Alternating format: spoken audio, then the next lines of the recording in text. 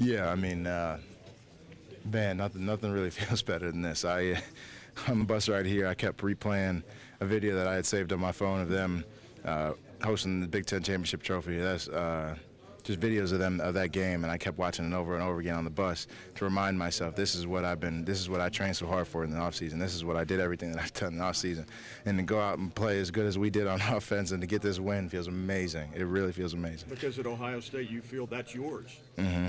Absolutely. I mean, we feel we feel that we're as good as a football team as there gets, but at the same time, we got to go out and, and, and, and, and play to our best ability, and I think that we did pretty well today. Yeah, the approach on offense, it seemed like you were taking more deep shots, mm-hmm. uh, throwing caution to the wind at times. Is that?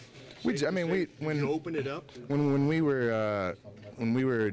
Um, kind of breaking them down, we, we, we realized that hey, we can get after these these the secondary. I mean, they got good players back there, but hey, we got really good players running the routes. You know what I'm saying? So we were we were watching film and we we saw weaknesses that we could exploit, and I think that was prevalent in the game. Uh, a couple minutes ago. Yeah, as a senior, do you feel like you're restored? I know you we're still got three games to yeah. play here. I mean, yeah, you I mean, we, back. yeah, that was definitely. I mean, it was, it was, it was a big step emotionally for for me because I, like I said earlier, I took that loss so personal last year, and the fact that we had to go out and, and, and play the way that we did was just unbelievable.